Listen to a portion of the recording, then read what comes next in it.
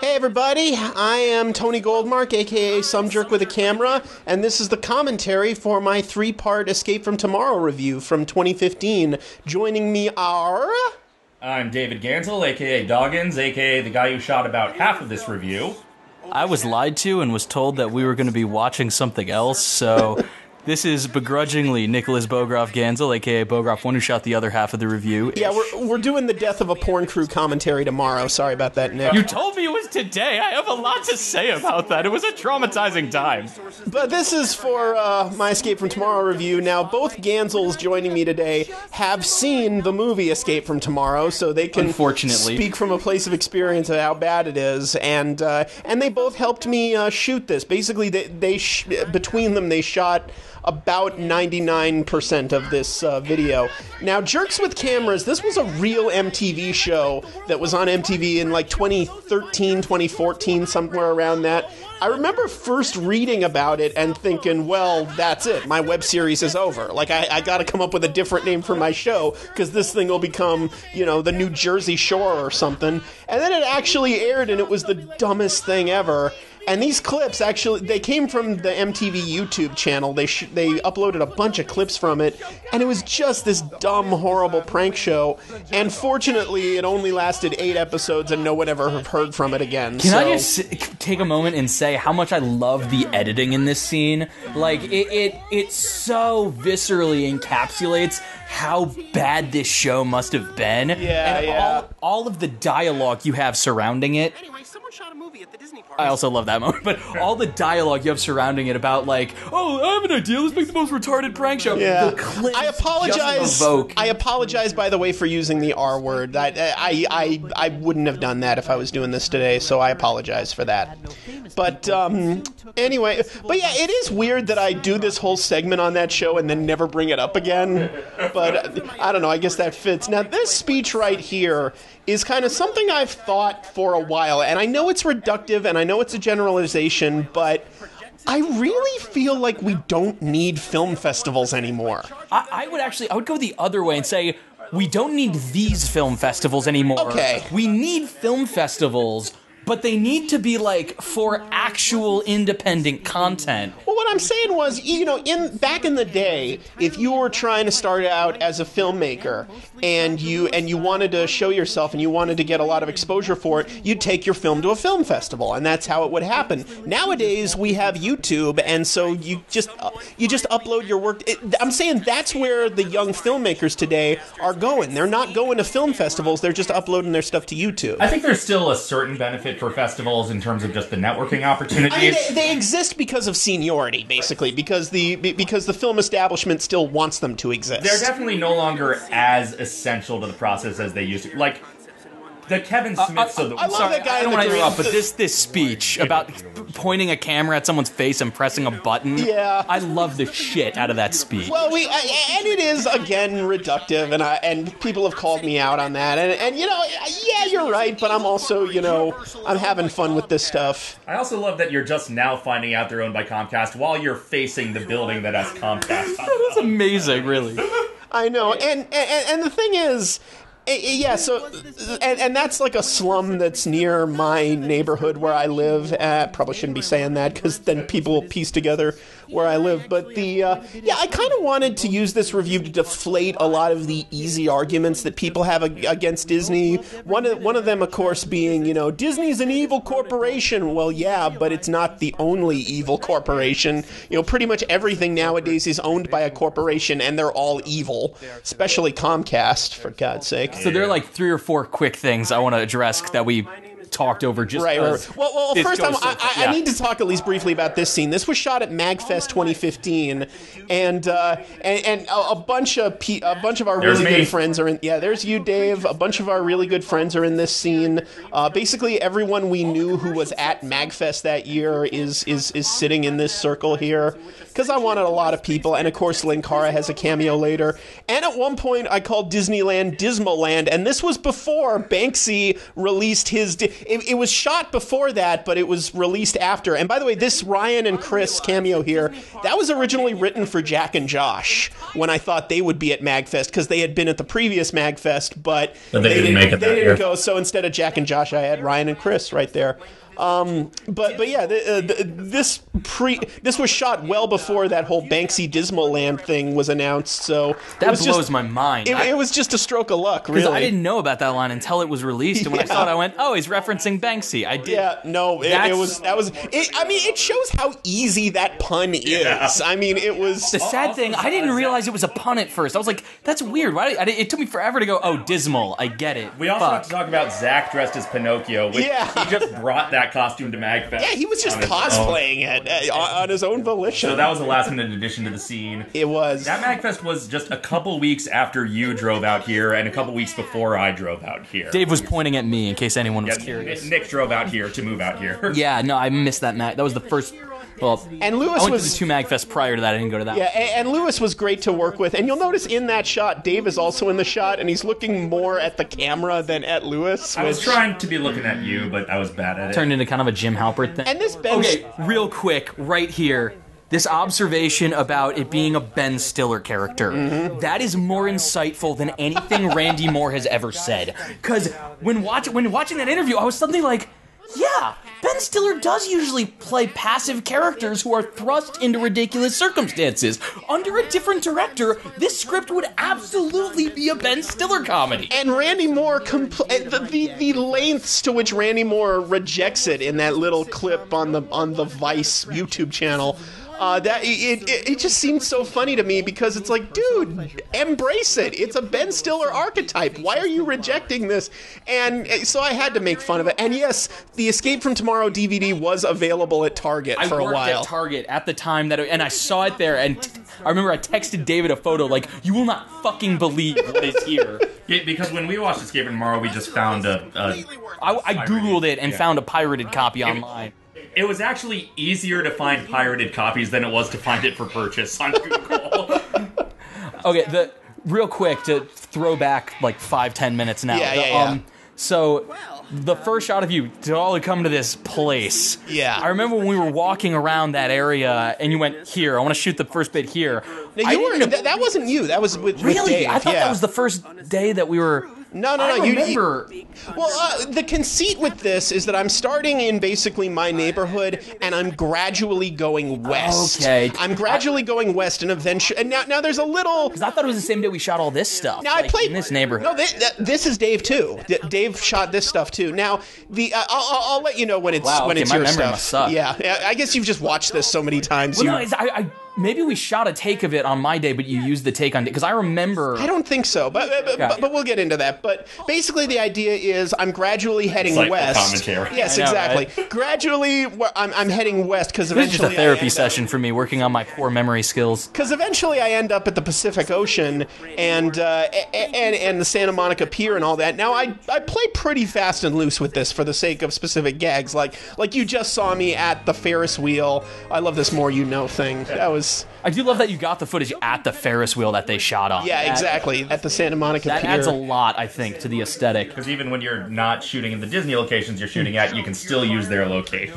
Well, Right, it, right. It, it, it's actually when when you guys shoot at like the Disney parks, there's often a level of thinking about the. uh the which location like sometimes like i don't know we'll shoot this here but a lot of times it's like i want to shoot this in front of this bit Right. because it subtly thematically connects even if no one else picks up on that yeah, I do that a lot, just just for the sake of my own like little ego trips. Like, here's a joke only I recognize. Ha ha! I win. Watching some direct with a camera is basically baby's first introduction to mise en scène.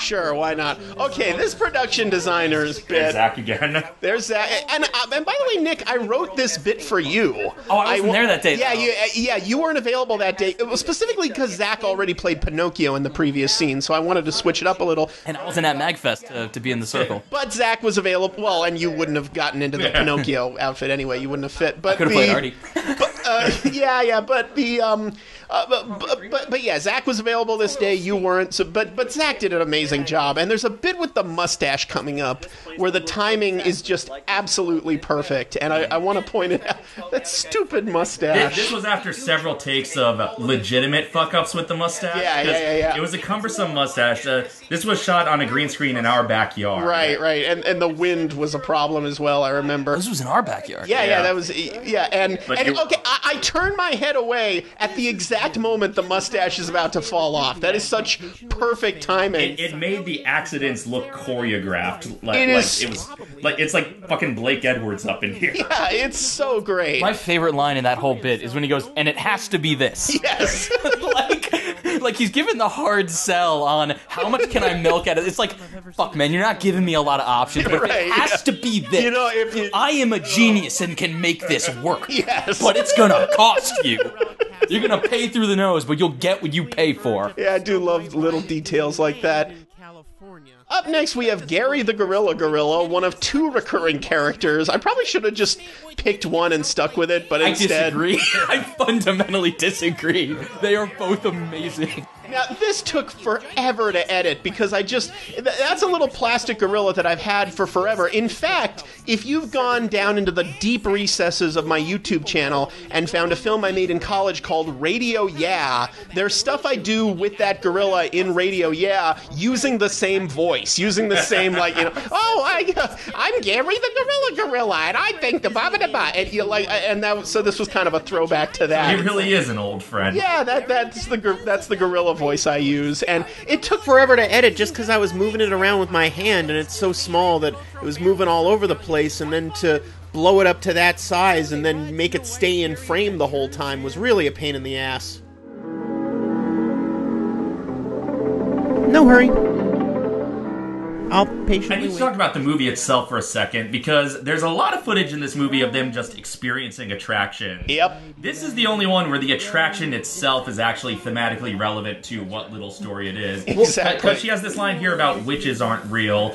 Even the other rides where like things happen on them, it doesn't matter which ride they're on. Like this making out Yeah, scene could have been on any ride. The small world demons could have been on any ride. Well, I, I mean, it, it, it does make some sense for it to specifically be Small World, just because that's such a happy wouldn't- slappy It wouldn't do. not make sense to have it on Winnie the Pooh. You know, it wouldn't not make sense. Like, I get, I, no, no I, I, I understand why the demons were on Small World I do understand specifically, why they but chose Small World, but the fact that they do basically the same scene again later on Gran Fiesta shows that Yeah. it, it wasn't as integral. Uh, the fact that it was Small World wasn't as integral. By the way, I love you singing Masochism Tango. Oh, yeah, that, that, that, that was fun. It, it, that, that came kind of out of desperation. It's like, what jokes can I? Well, the music sounds a little like a tango, so there you go. and I, I, I, the thing, I think the fundamental flaw of this movie Just is one? No, no. The biggest fundamental filmmaking flaw mm-hmm. is the fact that, as a criticism of Disneyland and Disney World that's trying to look dark and fucked up and scary, it makes Disneyland look so much fun. Like, Yeah. when we were watching it back in Connecticut, that's how long ago we watched this, we were like, God damn, I miss going to Disneyland. Like, that, Yeah, that I was the feeling it evoked from me from seeing all these things. And I do bring that up later of, of nothing in this movie, uh, none, of the, none of the bad stuff is Disney's fault, which was your suggestion, and a great suggestion, by the way. Thank you very much. And that footage of the It's a Small World clock was shot way back when I actually shot the It's a Small World review. It was just some B roll I got for it. But to get to the point where you can get that shot, you have to actually ride the ride, and then it's on your way out. And I was not going to ride that ride again, so I just used the old footage. And that whole bit was actually kind of an apology for devoting so much of the Small World episode to an extended rape joke, which really wasn't cool of me. I never got any serious flack about it. I guess I accidentally handled the subject with enough respect, but if I'm being brutally honest with myself, I didn't really do it for any reason beyond just to be edgy, so that joke is kind of my apology for that. Speaking of filmmakers who should be apologizing, Yeah, yeah, well. Oh. Okay, so the thing about this scene is this could work. Oh, yeah. If it was more understated, and if the whole film was like that. Like, clearly he's trying to go for this David Lynch, like, bizarre. Like a lot of What's things, real? What's not real? Well, yeah, and a lot of the things you point out that don't make sense and that are unlike make the characters unlikable could work in a horror film. If it's like, no, you're supposed to feel uncomfortable around these characters. You're supposed to not like them. But because he doesn't know how to control the tone of the movie and doesn't know how to keep these feelings of discomfort like perpetual throughout it, it doesn't work. Yeah, that's very. T- now this stuff was shot with you, Nick. Everything from the mural with, with the with the cell phone and No, because I definitely it's the the stuff outside of the the apartment building look because of the greenery looks similar to that neighborhood. Okay, now n- now this stuff with the uh, with the infomercial parody, I used clips of the audience from a infomercial parody they did on Mr. Show where they couldn't afford to hire extras, so they just used their friends, and their friends were like Jack Black and Paul F. Tompkins and Scott Aukerman and and Bill Odenkirk and all these people who are very fa- and that's a little distracting. I kind of wish I'd actually like tried to find a real infomercial where they cut back to an audience and just use that. Not gonna lie, I didn't notice. Oh, okay. Well, uh, uh, a matter of fact, I'm not sure it needed this whole introduction. I'm not sure. I, I, I- I feel like if I had just gone straight to introducing Cinekyle, it, I, Well, you- I you love the shit out of that You introduction, shot though. this bit a year after you shot the actual cinema. yeah, yeah, yeah. Okay, this Cinekyle stuff was shot at MagFest 2014, so almost two years before it was actually used in the video because uh, Kyle was there, and that's where we shot the opening credit. Now, in hindsight, I could have just waited until he was in town i- in Southern California to shoot the Beauty and the Beast review to shoot this stuff, but I decided, eh, we're here. Let's just let's just get this over with. I think you decided that would be a much tighter schedule when he was actually. Yeah, yeah, I- I think so. And and all we needed. uh, Oh, and this was, of course, shoot when we shot uh, shot when we shot the Beauty and the Beast stuff. Uh, uh, all the Cinekyle stuff, by the way, shot with my flip cam. Some of the last flip cam footage that actually made it into a, a, a some jerk episode. And uh, and of course, with the Magfest stuff, I figured, well, I'll decide later what he's actually saying, so we can just shoot it there and shoot a couple variants and make How it long work. did that take to edit with the lip moving to make it like because you can see that there's a little bit of reversing and playing forward to make it last the right amount of time. it was a bit of a challenge, but ultimately not insurmountable. One thing I wish we had done is shot with a tripod because there's a couple of bits, Yeah. including later when his when his head turns into the blue screen of death. I really wish we had we had shot that on a tripod so that so that his so that it wouldn't be as jumpy and his head could really turn into it as opposed to just you know going all over the place there so yeah, this is this is an observation. Um, it, it's true. I mean, you really can't ride. y- y- You can't ride all these rides in the time it takes to wait for Buzz Lightyear. Which Th- th- this is one of your. You don't meet the characters outside the Grand Floridian. right, exa- exactly. And by the way. It wasn't my intention at all because I decided I was going to do the ABC videos long before I even knew this movie existed. But I'm really glad it worked out this that way because this movie is kind of a bizarro universe version of those episodes. Okay, this thing with the the background extra, Dave. I think you were the one who noticed Wait, that. when we- Yeah, yeah, yeah, We yeah. ever noticed uh, that first night Nick and I watched it? I was like, I love that dude back there who just clearly doesn't know why these people are leaving. I think so we close to the rewound it ride. and rewatched it just to laugh a second time at that dude's expression. Because he turns back and just gets right on the ride. It's like, what the fuck is those guys' problem? Also, it's like I'm at Disney Park. Did I really just hear a guy say the F word in line for Buzz Lightyear? Be, you know how uncouth, man. Uh, purpose, Oh. ladies and gentlemen. One of the things I love that line. Real quick, one of the things I was going to say earlier, the Randy Moore Mandy Moore bit. I love how well the music from Tangled fits over that scene. That shouldn't like it took me I think 3 times watching it before I realized, "Oh right, this is not music that was just here. Tony had to decide to put this music here." At one point, I considered shooting the entire review in black and white until I got to Disneyland, kind of a Wizard of Oz thing. But then this joke right here wouldn't have worked, where I cut to Yeah. the color version of, of the Enchanted Tiki Room fountain, and I didn't want to lose that joke. It was too good. So. Yeah, and and we're and we're already at the end of part one here, uh, pretty much. Yeah, part 1 blows by. Yeah, it really does. And and yeah, this this stuff. I love the mattress in the background. It was just this one I know we shot because Yeah, you saw yeah, the matches yeah. and you were just like, "We're filming in front of this," and I was like, "Fuck yeah, let's do it." Now, this song uh, is the end credit song of the movie Happiness, directed by Todd Solondz, which I later uh, reference in, in part three. And uh, the singer is Michael Stipe of REM, but it's not an REM track, it's just a solo Michael Stipe track.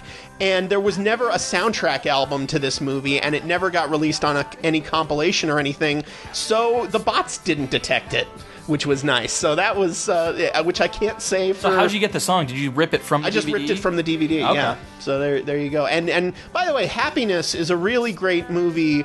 Uh, that kind of does this concept right of, of everyone's just a miserable, horrible person. I specifically haven't watched it because from what I've heard, it's just too intense for me. It is pretty intense, but I personally think it's really I've well heard it's done. I phenomenal. It's just I've heard the subject matter and it's too intense for me. Yeah, it, it, it is a little too it, it is a little intense. I don't I don't blame you, but it's uh, but if you can handle it, it's a really good movie. So Just one last comment. I love how pouty Charlie is during the support scene. yeah, that that was that was a nice detail. They decided to create this backstory that Haley was dragging Charlie to the meeting and he really didn't want to go.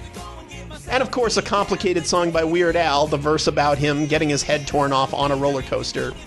Had to, How had to that work, fit? Had to work that in somewhere. Well, I don't know. Previously on the Ben Stiller show. Okay, so uh, now earlier, after I mentioned the Ben Stiller thing, uh, the music I played over it was the theme from the Ben Stiller show. Basically, in 1992, Ben Stiller had a show on a sketch show on Fox for 13 episodes, which was one of the best things on TV at the time. It was way ahead of its time. Co-created by Judd Apatow. Co-created by Judd Apatow, starring Bob Odenkirk and Janeane Garofalo and Andy Dick, and uh, and that and that clip of him as Oliver Stone uh, was from the Ben Stiller show, and of course uh, shot in a famous part of the Warner Brothers lot, basically the Warner's equivalent of Hill Valley. yeah, exactly.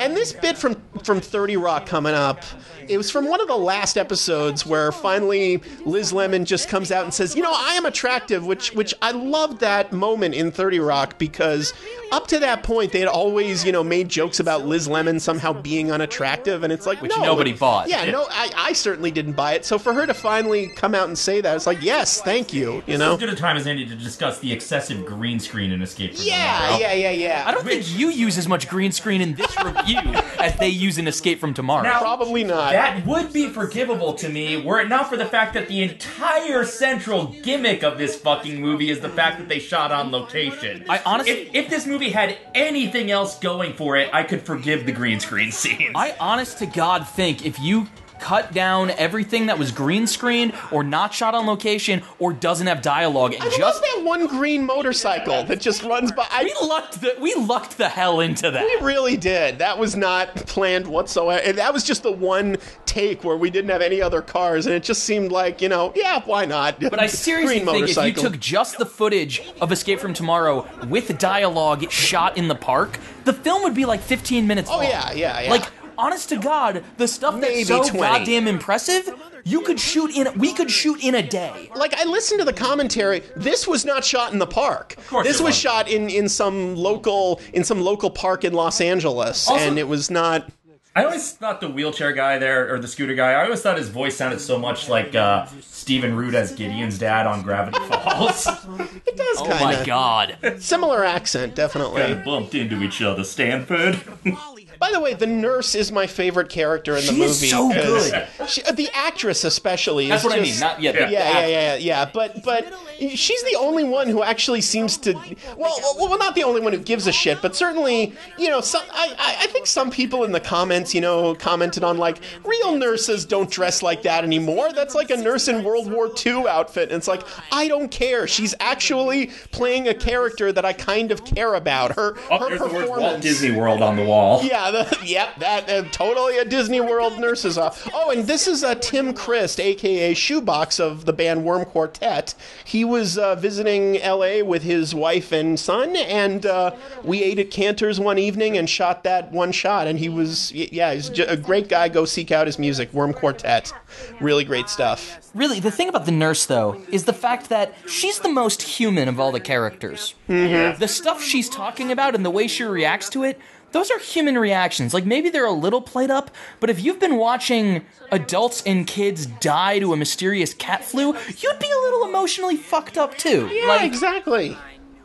Okay, this was shot in uh, the park right ne- uh, right across the street from the Grove in L.A.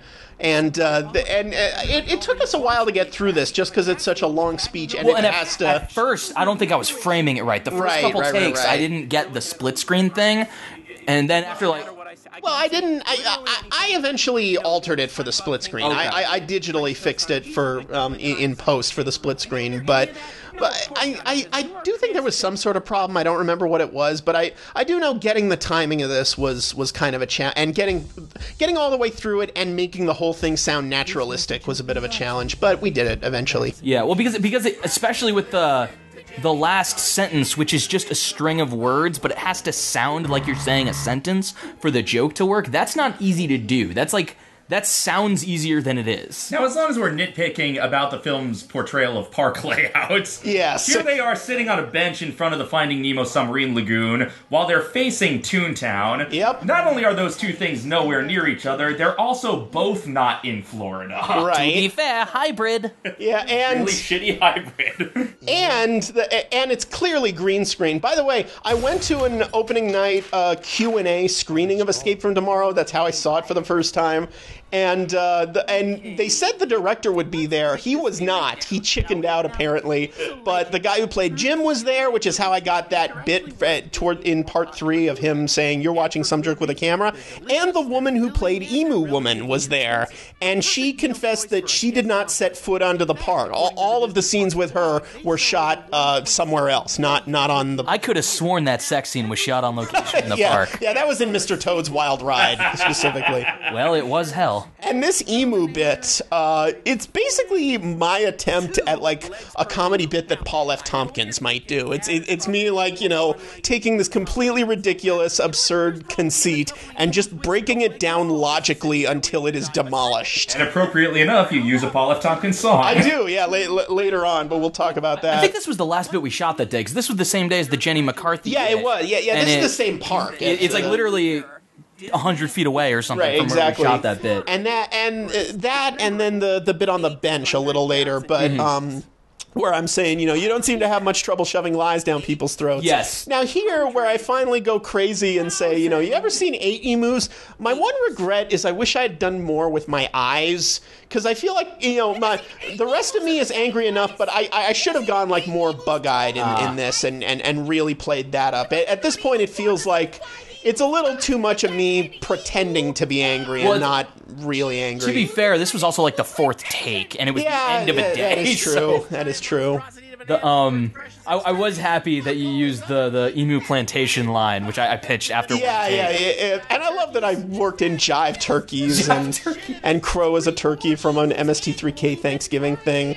And uh, This is my favorite point you make about how many exist in the wild versus how many you're claiming they're breeding. well, and a lot of people commented, it's like, dude, do you know how huge emu legs are? There's no way that could be a turkey leg. It's like that's the more obvious way to, to you know. And also, people criticized me for pronouncing it emu when it's apparently really pronounced emu.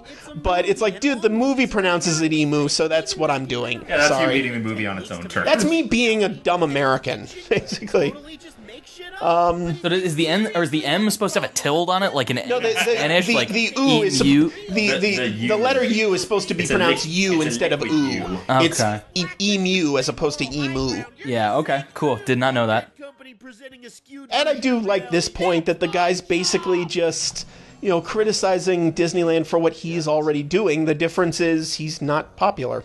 So it's jealousy. Well, it, it's things like so. I actually had heard the emu leg uh, urban legend. Oh yeah, we all have. Movie came We, out. we all have. This ju- guy just accepted it as fact. It's it's But really the dumb. other things, like the thing about the princesses being prostitutes, that's a conclusion you can only come to if you don't live anywhere near a Disney park and don't know tons of people Well- who have worked at. Di- oh yeah, It's also yeah, the yeah, one- yeah. if the goal was just to create a like thriller on like dark drama set at Disneyland and not to quote unquote expose the truth about Disneyland, then that's an interesting concept you could maybe do stuff with. Like, Oh yeah, it, it, it can work. Mm-hmm. there as fiction. potential there, Well, but I don't again, think he was trying to expose the truth but, necessarily. I, but I mean, with when his whole goal is like, you know, fuck Disneyland, it's so fake. it, on that's really the attitude that that makes it necessary for him to be more real than Disneyland, as you point out, Right, which he's not right, right, doing. right. If the goal was just hey, Disneyland's a great, you know, place to set a dark thriller drama because Disneyland is so forced happy, then I'd be like, sure, yeah, make up shit. That's, you know, that's how films work. Yeah, to, to, to, to be clear, I don't think Randy Moore really believes that they're actually prostitutes, but to steer into that, like, it's fine for fiction, but if that's your criticism of the fakeness of Disney, then the, the You know, metaphor the- doesn't quite track. The problem is, you know, based on just the movie and not, you know, hearing him talk in interviews, it really doesn't seem like he even has much of an opinion on the Disney parks. Yeah. 'Cause j- j- it's like there is no. Po- I love the evil woman, Yeah. you know, ELO st- uh, tag right there. Sorry, I'm, I'm, I'm saying how proud I am of my own work because pride goeth before a fall. It's a commentary. That's how it works. Yeah, there you go. But the uh, but yeah, it, it just you don't get a sense of what the filmmaker thinks of Disney World in general. You don't get a sense of why was this shot here in the first place. What are you trying to say? Okay, I have to say about the about that speech that we we just saw. It, I the th- one of the things I love about this review is by framing it as you hating Disneyland and by framing it as you wanting to be on the movie side, Mm-hmm. you really give the movie every benefit of the doubt humanly possible beyond reason. Which so is- when your character winds up hating the film, it's all the more powerful and all the more of an indictment of the film. Yeah, and, and that's how I felt going into it. I really wanted to like this film when I first saw it. I wanted to be a champion of it and, and kind of a cheerleader of it. And because because I was shooting on, on location at the parks too, and I wanted to encourage this kind of film, eh, you know, to to uh, to do well and, and, and really be a success. And it just was. It just squandered every last ounce of goodwill I was willing to give it. So, the pool scene. wa- I love the timer, you know, Yes. conceit Yeah. in this. It's it's Very good, very good. and literally, it's like the the only molecule of a thing that happens in this scene is that the wife sees him going up to the you know flirting with the French girls, but she saw that earlier. She saw that earlier on the monorail that he that he had his eye on the on the French girls and When, when, when we were watching this uh, the first time, I was sort of half live tweeting it. Um, one of the observations I made at the time was uh, at the end of the scene, the way she gets them out is we need to leave now if we want to get to Epcot in time for the fireworks. And then later it cuts to them wasting like six hours. At Yeah, Epcot, clearly exactly. having plenty of time. So, so I like tweeted, you know, cut to them spending six hours at Epcot. And a buddy of mine, James Connor, tweeted at me, "Okay, this is where I draw the line. It's impossible to spend that much time at Epcot." Oh, this Emily Dickinson bit shot in front of the Writers Guild in Los Angeles. Ah, little perfect. little inside joke there, which is which is also right near the Grove on Third and Fairfax. And pointless fucking argument like the ones they've already had. Also, how the fuck do you confuse Dumbo and Minnie Mouse? Like, if he got her Minnie Mouse and she wanted Dumbo, I'd be like, oh, because he wasn't paying attention and he assumed all women want Minnie Mouse. Yeah, But I get that they're like, oh, you gave me Dumbo because it's an elephant. You think I'm an elephant? Go fuck yourself. Like, yeah. I mean, it's uh, It, it, it's just the clunkiest but way still, of him being it's a the bad way. husband. Yeah, but but also that she she won't accept a nice gift when he gives it to. It's like that's Yeah. why I worked in. Oh, you know, all right, Veruca, all right. I mean, wh- uh, it's it's a bad movie. like every character is just shorthand for being a bad version of whatever character. Yeah, they are. exactly, exactly. The, the only you, you don't really touch on this much in the review itself, but like the only character portrayed remotely positively is the daughter.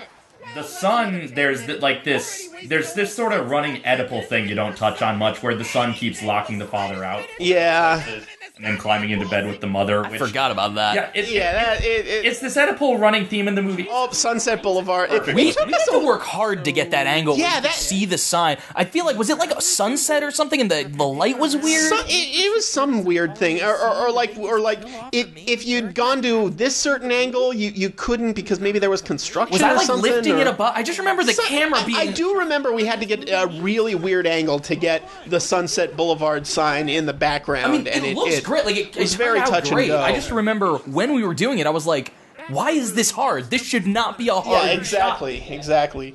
Anyway, just my only The com- chair was made of knives. good good foreshadowing. and to the yeah, end fo- being the foreshadowing the end, of course. And uh, the only thing about the Oedipal thing in the movie is it touches on it so little. Like it wanted to have an Oedipal element because that makes movies deep, but not Yeah, because it of actually course. needed to include. And the and the daughter is is painted remotely positively because she has no character traits essentially, other than she, other than she's a little girl. of course, you have to react to the spaceship Earth gag in front of this. The Cinerama Dome, which basically looks like spaceship hemisphere. So That was my first thought when the first time I saw a movie there. You're like, yeah, we're seeing it at you know the dome, and I went, I was like, holy shit, this is yeah, like it's spaceship Earth. Yeah. but, but half of it, but half of it is in the Earth, I guess. I remember hearing Randy Moore talked about how like nervous he was when Roy Abramsohn was doing this scene. Yeah. And like acting all drunk and started doing like Nazi salutes Yeah, and Hitler stuff. and, and he and was like, stuff. "No, we're gonna get kicked out." Now let me tell you, uh, when I lived in Florida, I would often talk to the uh, cast members at World Showcase.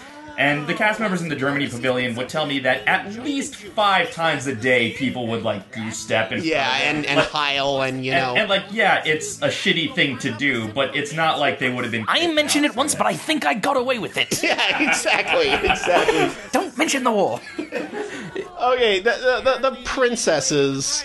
Why My- would these three princesses be together, and why would Ariel be standing when she's a mermaid?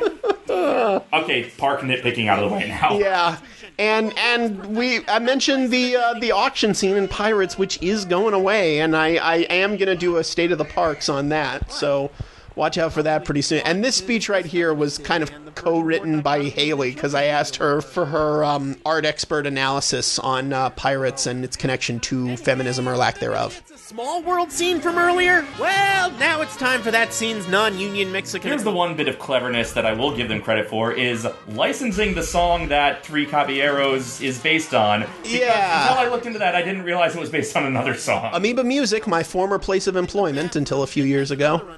And And blow drying a sock. yeah, because he got blood all over it and stuff. Oh, the blood. Oh, I Yeah, thought I had to yeah, do yeah. the vomit. I'm like, that's weird that he hit the sock. Yeah, it's uh, it's it's pretty stupid. This really is a Yeah, and and why does the girl's face turn into the fucking Joker? I don't. It's it's so dumb. Well, it's like those are the things where, if properly handled, they don't need to make sense in a thriller. Like, No, if you not could, necessarily, If you but- could orchestrate them in a way, like like The Shining. But there's That movie no makes- reason.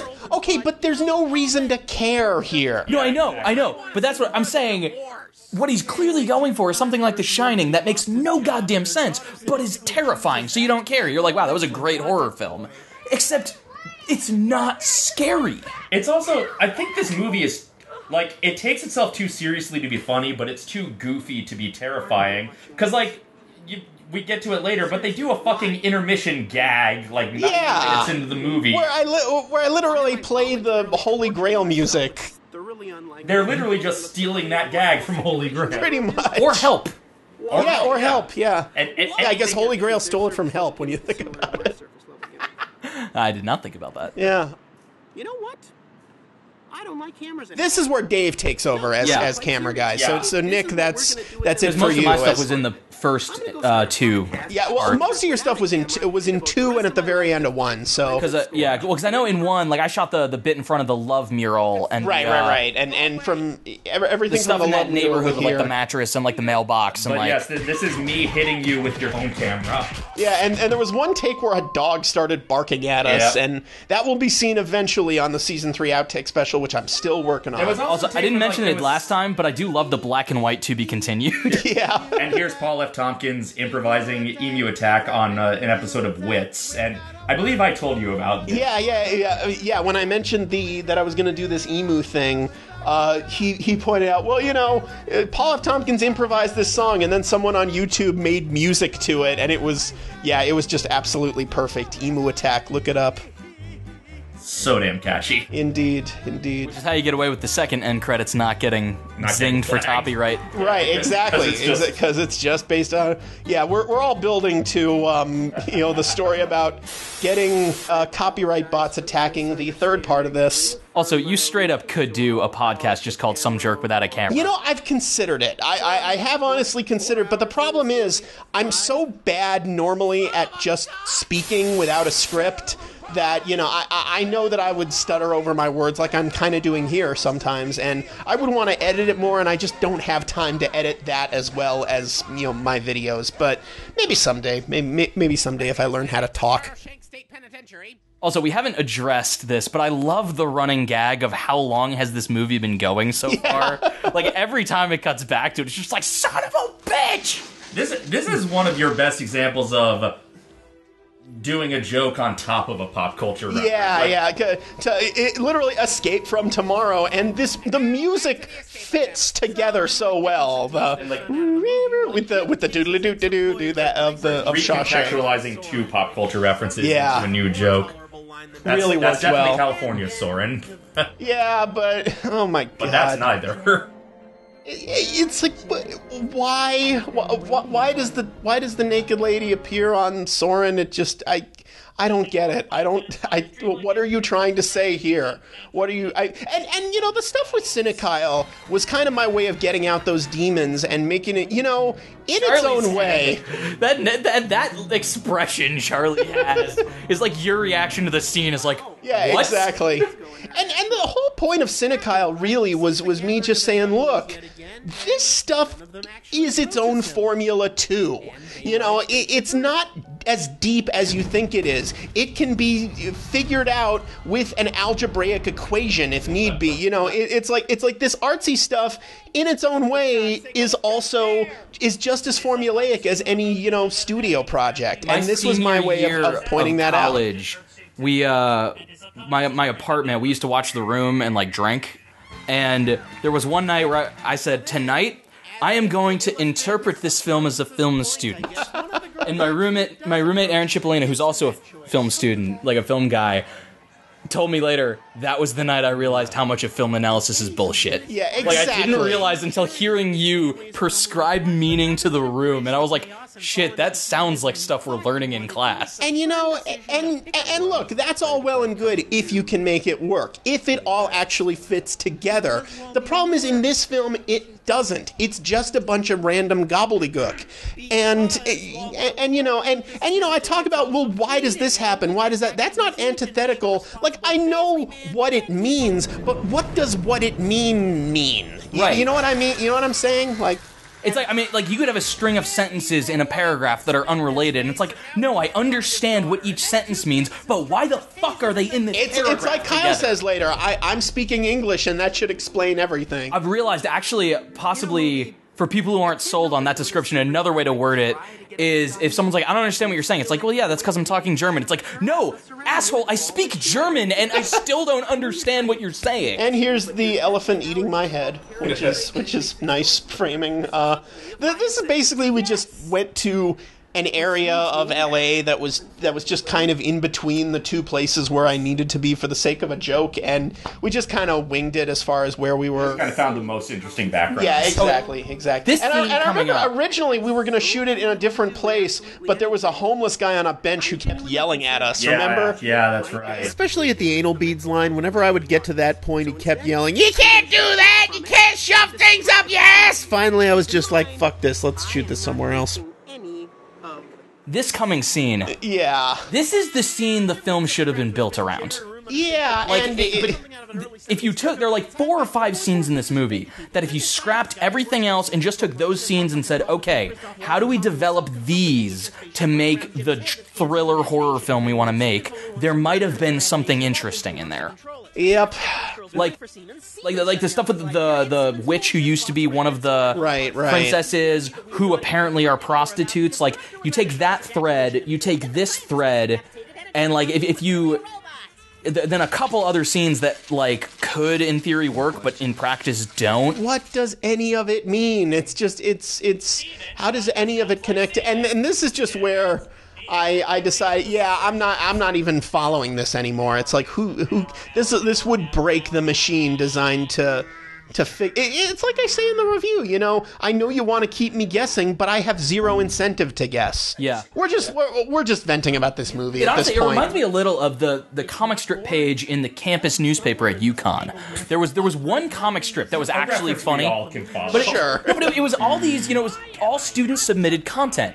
And the joke of all of the comic strips was trying to be no, it's just random, so it's funny. The problem is when you read them all in a row, there's no establishment of normality for the random to violate. So when you're reading it, you're just like, this all sucks. There's nothing here at all. You know, And you except who for the, actually- the one comic strip and everyone who went to UConn during And you know who 2007 actually doesn't know what does I'm talking about. Uh, you know who actually does that really well is Worm Quartet, the the guy who cameoed in part two. His music, a lot of it is just these strings of absolute nonsense, but it's funny and it's it's really well written nonsense, and it and it works on that level. This is not that. we make the posters with little girls reaching for your junk, then you have to wear purity rings or else the company looks bad. I also love the this use of the South Park clip here. Yeah, the, the South Park clip. Uh, at one point, I was going to use a Simpsons clip of them saying Disney California Adventure, but ultimately, I decided the Disney Sember logo and the Saving Mr. Banks were the other two, you know, escalations I needed to I needed to get here. I also I, I love that the one time Gary the Gorilla Gorilla cannot justify what's going on, he exits from the opposite side of the screen. Which was not intentional. I think the, the thing was, we tried shooting me on the right side of the screen, and when we shot the close up of my face, I was backlit or something. Yeah, so we had to shoot it the the other. position of the sun. Yeah, we had to shoot it the other way. And also, with all the Gary shots, the camera has to be on a solid surface, and we didn't bring a tripod. So, so yeah, that that was it, it was a lot of touch and go, a lot of improvisation there. I, I believe we deliberately avoided bringing a tripod just so we wouldn't draw too much attention to ourselves. in the Exactly. And the Kevin Spacey thing, which has not aged well, unfortunately, but.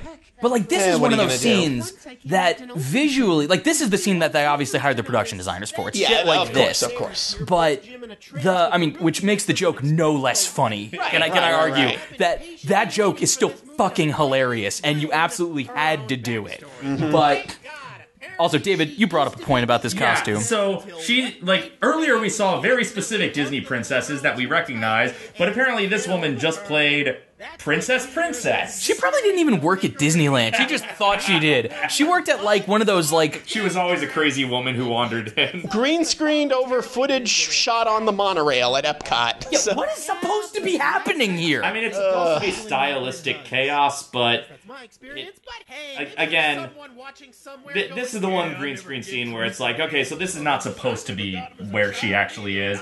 But all the other green screen scenes, aside, Uh, speaking of things that don't age well, uh, uh, aside from the fact that uh, I, it's bullshit that there's so much green screen in a movie whose entire selling point is shot on location, the green screen scenes are all also really weirdly framed. right? Like yeah. you would and really think- badly lit. re- and really Yeah. badly lit. Like you would think this. stuff. By the way, th- this is true. There is a prominent porn star named Randy Moore who happens to share a name with the director of Escape from Tomorrow. And she's actually here tonight, so Yeah. uh, Oh, there we go. Uh, she can't speak. She's unfortunately, mute.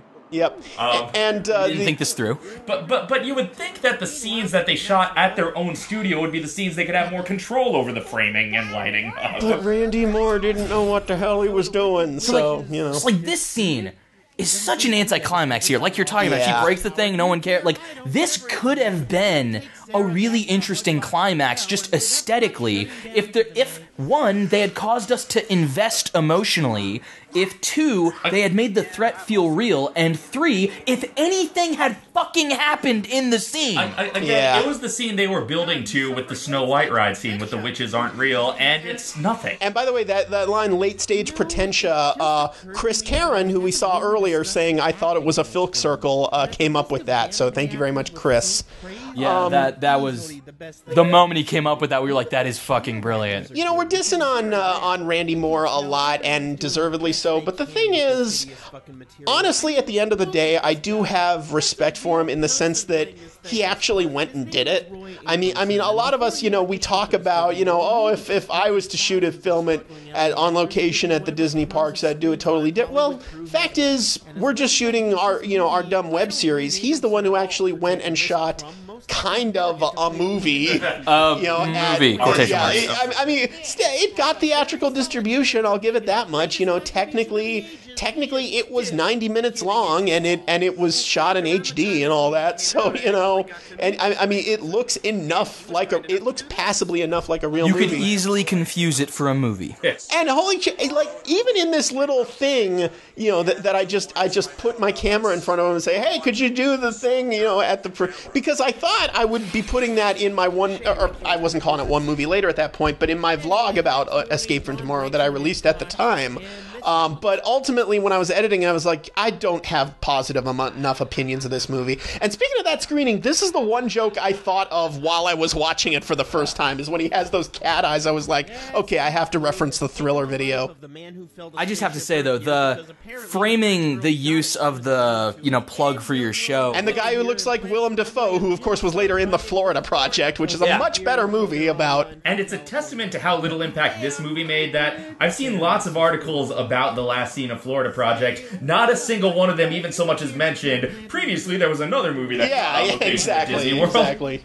So I'm sorry, Oh Nick. yeah, what were no, you? I was just gonna say I love the framing device of too bad I'll never get to use that clip. Yeah. because it, I mean, it honestly, it's too good of a clip not to use. But at the same time, you don't want to be using a clip of him promoting your thing while bashing his thing. Yeah, exactly. So, so framing it as it he's like such a nice guy, he did this for me, which is not appropriate for me to use. Is like, Yeah. I mean, it's sort of like I'm gonna slip it under the radar, but it's also just legit like.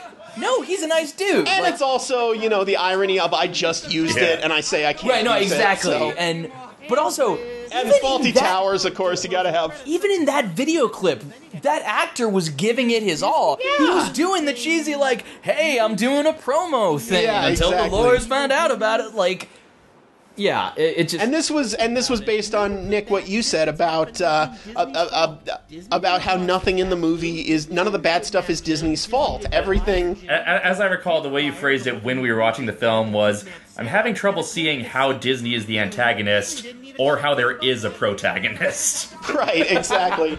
Okay, now now there's a shot coming at when it gets to the princesses, but but yeah, um, there's a shot in the pr- which I just recently noticed where the princess in the middle reacts as though Right one of the businessmen has grabbed her ass, but everyone's hands are somewhere else. No one's hands are in a position where they could have grabbed her ass. I'll, I'll point it out when it when it comes like. Right after this it's shot. right. It's right there. Who is grabbing her ass? she's right there? grabbing her ass. She you is see her grab her ass. No one else Is she grabs her ass. schizophrenic? What happened there? It's like oh, Maybe it's a really delayed reaction. Like three seconds I ago, someone pinched her ass, It- oh. and she only just now noticed. Eh, eh, yeah, then then prostitution's the least of her worries. I guess it's, but yeah, um, this was all taken.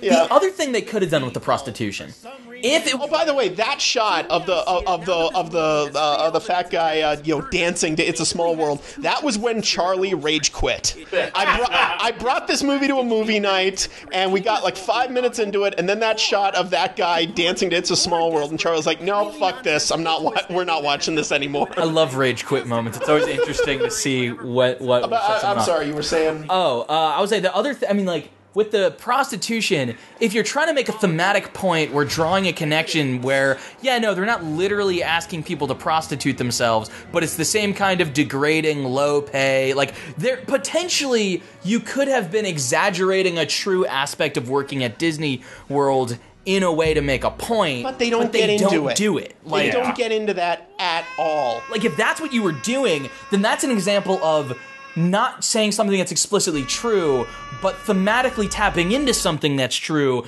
in an artistic way. This movie could have been 50 times better if it just chose one of its themes and stuck with it. Yeah. And here's the and here's the other thing. also, can you read that the end?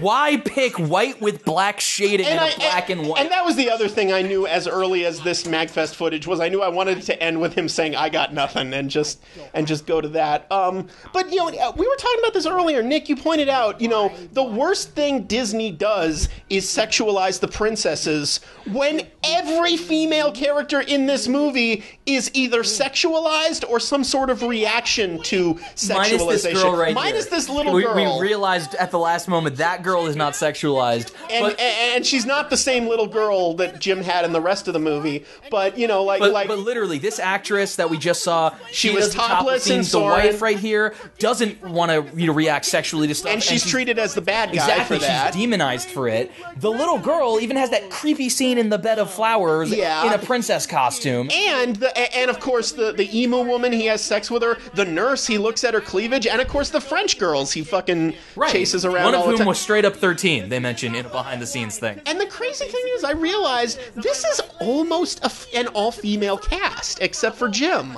Like the like, there's Jim, there's Jim and his son, and then it's the rest of the supporting cast and the guy in the wheelchair. And the doctor, And- the, the scientist guy. Oh yeah, and the scientist guy. But- and, and, He's a uh, robot, he But he's doesn't a count. robot. Yeah. He, does he have genital? I don't know. Okay, so this bit with Trevor. Um, We, we came back a second day to uh, to Santa Monica. Uh, yeah, after part one had already come out and it was posted on Channel Awesome, uh, Trevor, uh, Trevor Michael McCune here, uh, made a comment saying, "Yeah, I was in this movie. I played the bellhop." And I'm like, wow. And I, uh, we we exchanged info, and I said, "Would you like to be in part three? I'm still working on it." And so, and he and we put it all together, and we worked out that it would be this like JFK parody where where he was like playing the Donald Sutherland character. So finally, your uh, status quo of taking forever to finish videos Yeah, paid it paid off. Damn it! It was. This review would have been great anyway, but it couldn't have been as perfect as it is without this bit because suddenly he's like the reason we put that DVD at Universal Yeah. City, like Which was a completely. La- I wasn't planning that from the first time when, when I did that it bit in the makes Shrek things video. look so much more intentional than they were. at yeah, first. it, it's like- and, and and it was just something that occurred to me that oh I can tie this in to So the to how I ended the Shrek. sir. Yeah, exactly. It, it was But it's not it was even a pretty good retcon re- because there was no established canon. And Trevor was so excited to do this. He he prepared his own wardrobe for the day. He said, "I want to wear a trench coat like like Donald Sutherland He wears was- in JFK." I love the shit out of his wardrobe, by the yeah, way. yeah. He, and he he- was super cool. He was super friendly. he was he was a great great guy great to shoot with great Very to work happy to with be there. just just really just, just really altogether wonderful I and, also I uh, love that in the movie he's like they got this clean shaven boyish look, and here Mm-hmm. he's got this grizzled like five o'clock shadow look where it's like I've seen shit, man. I've been on the other side. I think he even I and I I, I don't think he could have shaved. I, I think he was doing something else where where he had to keep the the stubble for some reason or he was growing a be- I, I don't remember exactly what it, there was some sort of issue with it but ultimately I decided like no I'm I uh, definitely it looks better when you've got the stubble. So and and and this hat and this uh, this well, which, which I, I had it because it lo- um, it was a hat I already had for some reason or another, and uh, and it looked a lot like the hat he was wearing in the movie, so that was the intended reference there. I just love But- throwing the jacket over the yeah, back and, like that. It- and, and, and everything going about into this scene soft focus and and of course Gary shows up again. Now, yeah, I, I, yeah, sometimes I wonder if I should have just chosen Cinekyle or Gary, but nah, they serve two different functions. Yeah. So. No, exactly. They because one is about the content and the other is about the production. Mm-hmm. Like Gar- Gary's about the guerrilla production aspect, Right, and Cinekyle's right. about what the it all genre means. and theme. One's about how it was. Uh, one's about the how. The other's about the why. exactly. Yeah.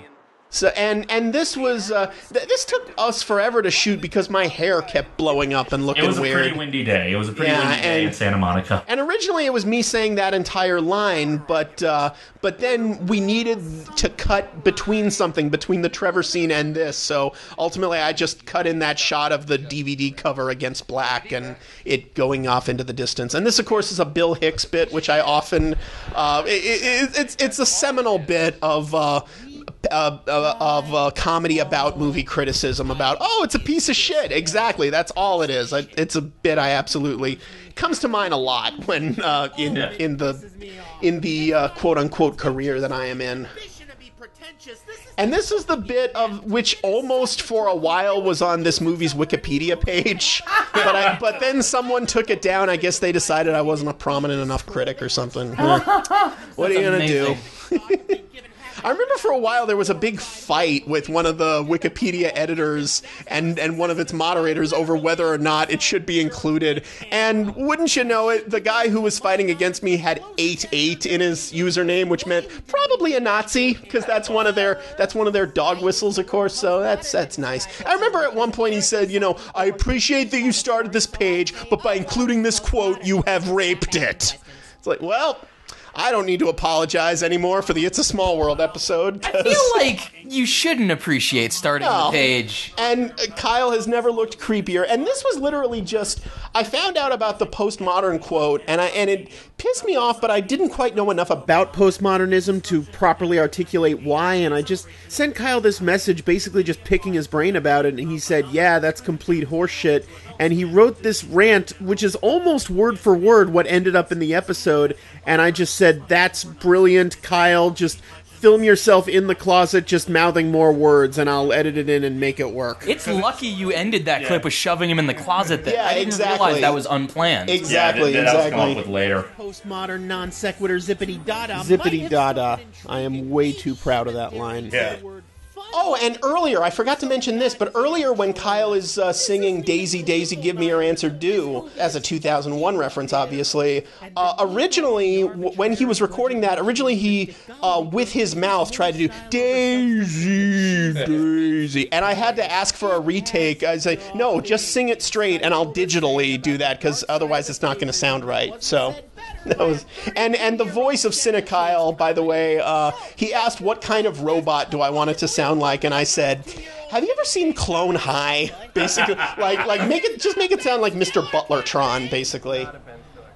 It's not a Ben Stiller comedy, folks. I- it, But this was back on the first day we shot it. yeah, this is uh, yeah. We, we shot both of those things because it costs money to ride that Ferris wheel, and we didn't want to waste a lot of money. Yeah, the thing, the, clearly the reason he doesn't want to be associated with a Ben Stiller comedy is he feels that's lowbrow and he wants Yeah. to be highbrow. But like, Ben Stiller has been in Noah Baumbach and Wes Right. Anderson But movies. those are Noah Baumbach and you know Wes Anderson movies. They're not Ben Stiller movies. They're not defined by the presence of Ben Stiller. I mean, when you I- say Ben Stiller comedy, people think Zoolander, Tropic Yeah. Thunder, and so in his mind, Museum, it's like yeah. a lowbrow form of comedy. I guess. That being said, I fucking love Tropic Thunder. Yeah, it's Like- one of the it's one of the best comedies of the last ten years. It, it is pretentious to to like assume lowbrow means bad. Right, exactly. But I, I, I gotta say, I love your line about this isn't even pretentious. You need ambition to be pretentious. This is fucking inept. Yeah. Like that is one of the that's one of the three best criticisms of the film. I think that you have. Well, we'll do a big countdown at some Yeah. point, I guess. But I forget if that line passed already because we've been talking a lot. Yeah, it, so. it passed, but yeah, and, and Inside Out was a better exploration of what it of what depression is than this movie supposedly about depressed people in the happiest place on earth. Like it Inside also- Out, Inside Out was a better meditation on forced happiness, and that was released by Disney. It also had a much better grasp of consistent metaphor. Yep, exactly.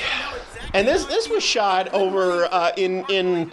i- i- i- In Santa Monica, you'll know this if you've been there, but there's a bit where you walk down from the cliffs where the Santa Monica Promenade is, and you have to cross over this bridge over the highway, and it's uh, it was a really cool location. I knew I had to use it at some point. Teach us more about these characters to give us something. We should probably talk about the ending uh, uh, because we're not going to have as much time when it Oh, actually yeah. comes there. Um, but basically, I always knew that the ending had to be what it is. I always knew I wanted that specific. Um, that specific thing for an ending. And for a while, I wasn't sure exactly which song I wanted to use. Uh, I just knew I wanted it to be a ballad, and I didn't want it to be about uh, love, God, or home, because I didn't want to imply that Disneyland was my love, my God, or my home. I wanted it to be a little more obtuse than that, and I kept coming back to this one deep cut on a, on a Robbie Fulks album, on his live album Revenge, called On a Real Good Day, which is, when you first listen to the album, or at least when I first listened to that album, it was kind of just a nothing song. It was kind of like, okay, this is a little slow song, you know, to calm. Oh, and, and here, clips from Song of the South and the Sweatbox. For those who don't know, pretty much everyone knows what Song of the South is by this point, but the Sweatbox is a documentary that was made, oh, the fucking match party con. This was, okay. This was the other thing we shot on the Trevor Day. Yeah, yeah, We exactly. to come well, back well on the Trevor Day, we shot we shot this, we shot the stuff with Trevor, obviously, and then we got in our respective cars and drove to Disneyland, uh, and that's when I shot the uh, the dash cam footage on the on a real good day sequence later. And then when we got to Disneyland, we shot a few random shots for the Haunted Mansion review later, and you can tell which shots were shot on that day because you'll notice my top button is missing on my some jerk shirt because it tore off somewhere. So in the Haunted Mansion review, look for the shots where that top button is missing and where it's just me and not Jack and Josh. So And if you point them out in the comments, you win nothing. yay! So you know the the, the track on a real good day. Um, I, I you know I, I didn't want to choose that just because it was the first one I thought of. But uh, by the way, here where I say you know thank heavenly God Almighty that it wasn't a Ben Stiller comedy. Maybe I should have gone done thank heavenly God Almighty they bleeped the word Disney because that might have been a little more yeah, yeah that, that might have tied in thematically a little more to me talking about copyrights and third party content and all that. But yeah, it's uh, but but anyway, and this by the way. This bit where Randy Moore is sitting there and the fist comes from off screen and punches him off screen, that's the last joke in the episode. From this point on, it's all just me kind of seriously, earnestly talking about my thoughts on the movie, and that's kind of risky. I, I, I think I, I was I was kind of worried. Like I knew this is how I had to end the review. I had to end it with something.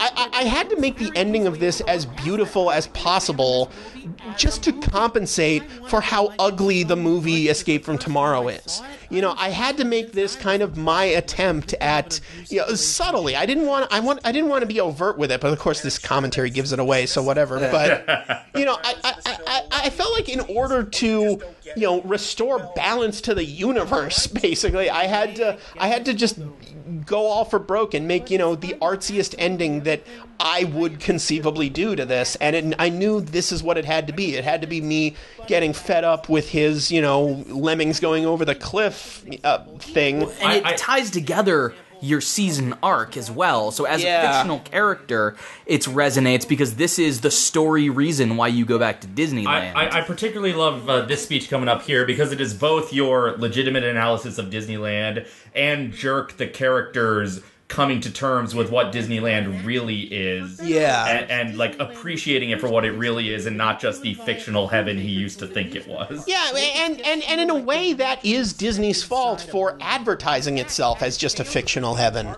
You know, advertising itself as as you know, Universal. well, because it advertises to the kids, it doesn't advertise to the parents. Exactly. It- it- Universal gets it right by just saying here come here and ride the movies. It's like that's what that's what Disneyland always is. And by the way, this new version of it which I re-uploaded to YouTube because of um, you know song issues which we'll get to, I added something to this montage of other videos shot at the park. I added this Brandon Rogers Grandpa Hates Disneyland bit which I was made aware of literally days after I uploaded part 3 uh, to YouTube and it just um and, and I was like, "Oh man, I should have I should have included that." So when I had to redo this, I did. But its content is borderline unwatchable, like a less racist Birth of a Nation. And that's the tragedy of all this. So this speech, um, Real quick, on the previous speech you had, Yeah. the line I love is when you say this film wasn't impossible, this film was inevitable. right, right. That's another great point. because we, we we all talked about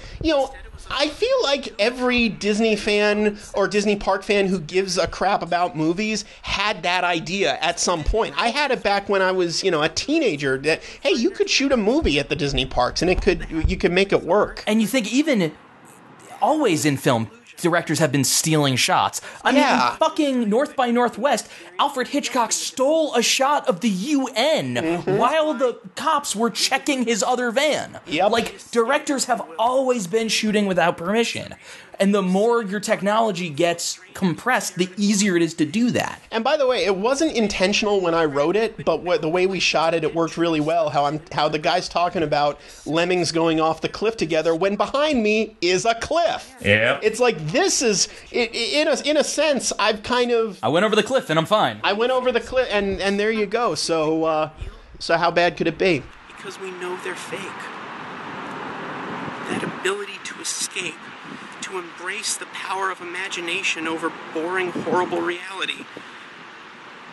So the song um, was recently, about six months ago, it got the video, uh, the original version of the video, blocked from YouTube because, uh, you know, I knew that using the whole song would get it monetized by the by, by the owners of the music.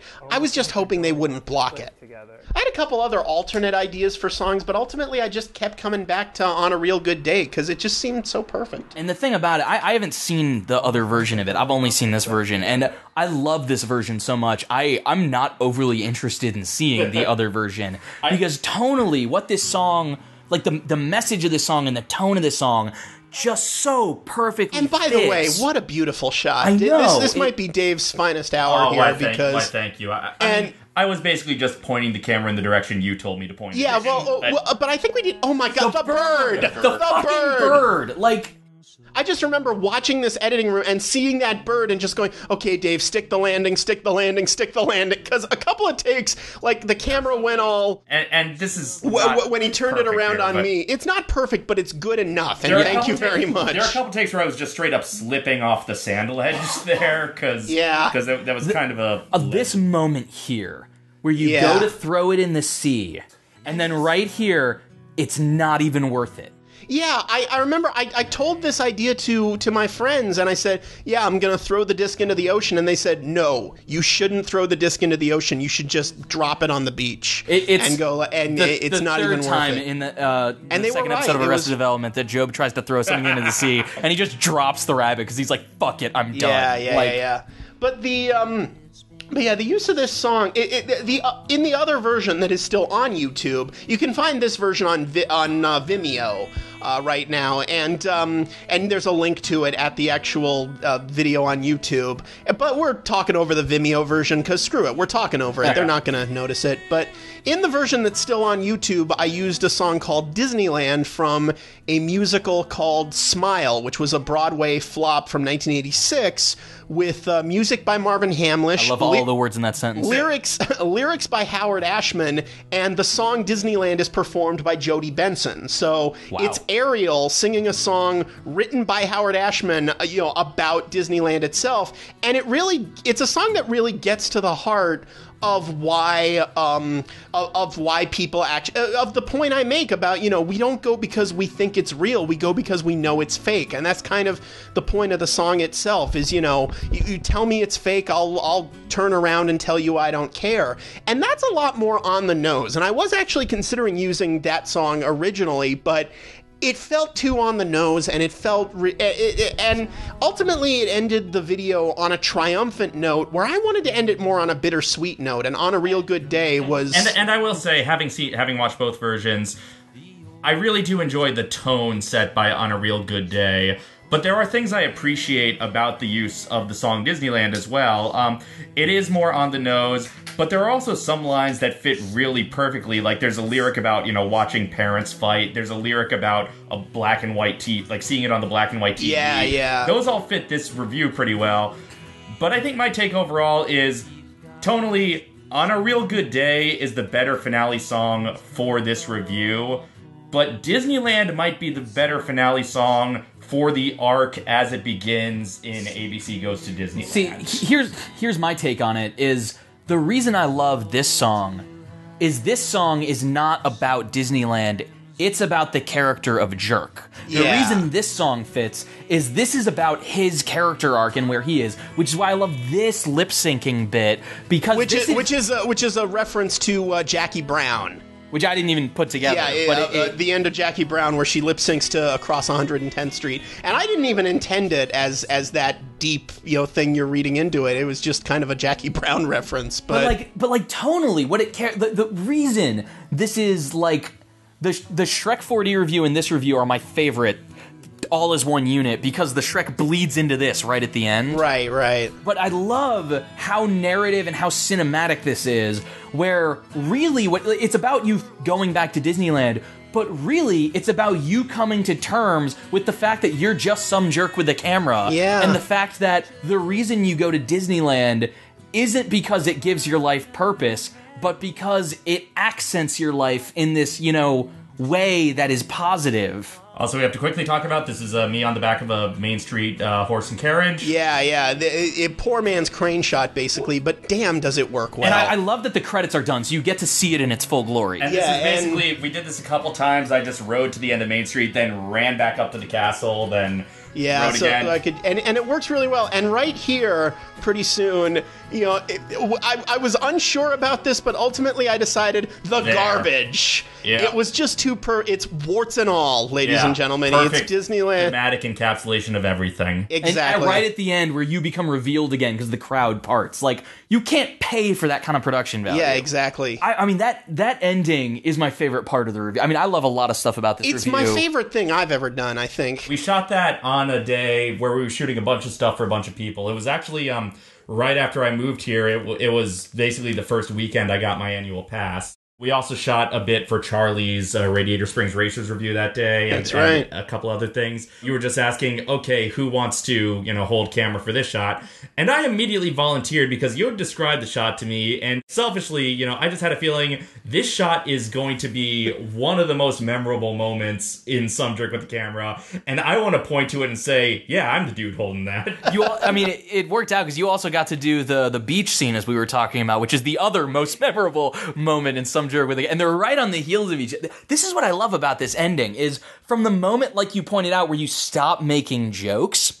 From that moment to the end is where it's like, okay, we've made a lot of jokes, we've talked a lot of shit. You know, we have a lot of fun here on this on some jerk with a camera, Exactly. but It's like, could we take a moment and just genuinely appreciate what is Disneyland and what is narrative Yeah. storytelling and what it means to engage with these things as humans? What does it mean to be happy? What is it like? You take all these themes that are like, hey, I know we're a goofy review show, but if we really want to do justice to Disneyland and to debunking this myth that Disneyland needs to be stopped, quote unquote. and to actually engaging with the themes that the movie was only surface level scratching at. Right. It's it's like we need to address, well, why is your instinct that fake is bad? Why is your instinct that happiness can't be forced? Like you're right, but there's something deeper going on there. And forcing happiness, it's not that the goal of being happy when you don't want to be is wrong. It's that forcing it is the wrong approach. And though I'm not happy, I can pretend on a real good day. You know, it's like I always knew that this had to be the ending of this review. Like, like as soon as I conceptualized, yeah, it's got to end with me coming back to Disneyland, but it's got to do it in this way, and I can't say a word in the end. It's got to be show not tell. I always knew that had to be the ending, but I was really worried about how people would react to it. I was worried that maybe I was wrong and it was a little too pretentious of me to end the video like that, and that people would call me out for my pretension and say, What is this shit? And it received almost unanimous praise. Maybe one or two people might have been critical of it, or maybe they were critical of the entire review, but no one came out and defended the movie, by the way. No one said, no, you're wrong about Escape from Tomorrow, because blah, blah, blah, blah. No one defended the movie, and everyone who talked about that ending scene loved it. So, yeah, I, I guess I made the right choice. I definitely think you did because part of it is just the fact that you're so cinematic in that moment, which is something Escape from Tomorrow never was. Yeah, like I said, I had to respond to how horrible that movie was by producing the best thing I possibly could. And by actually utilizing the resources of the park with the horse and carriage. Yeah, you exactly. think the most cinematic thing they have at the park, as far as I can remember, that's actually shot at the park, is that scene of the girls and the guys backlit with the fireworks where they're just standing there. And they use it for like way too goddamn long. Because it's pretty. But it's like this static shot that when I saw it in the trailer, I went, oh, that could be cool. That could be interesting. And when I got to that scene in the movie, I'm like, okay, this is nothing. So to instead be like, no, we're going to have a tracking shot where we're riding on the transportation provided and just m- taking the time and effort to coordinate it with the movement of the character. But additionally, thematically, the idea that the ending is, like you said, bittersweet. It, it's not the magic of Disneyland has been restored. It's like a coming of age thing almost, where it's like, here I am now as an adult, not as a child. As a And I child, was- I believe it's real. And I As an was adult, I 32 it- when I came out. Right. That is one of the things, again, why I think the song Disneyland, even if it's not better than uh, On a Real Good Day, it was an acceptable compromise thematically. And by the way, never reissued on CD, so I got it past the box. I think why it works as a conclusion to the arc that's set up with the God song montage, because it has in the lyrics, you tell me the trees are plastic, I don't care. Again, not as tonally perfect as on a real good day, but still works as showing the acceptance Jerk has come to since that moment. It's a pretty good little review. I uh, I believe part one is uh, my most viewed video. It just recently passed fifty thousand views, so that's nice. Part three is the longest, so it makes sense that that wouldn't necessarily. yeah, exactly. People start watching it and they give up. It's- my top three or four favorite criticisms you make of the film are one, as I mentioned before, the line about this isn't even pretentious. You need ambition to be pretentious. Like I love that because I never would have thought of that. Like that that notion of people talk about pretentious like it's a shitty, lazy thing. But it's possible to be lazier than Yeah, pretentious. absolutely. And this film does it.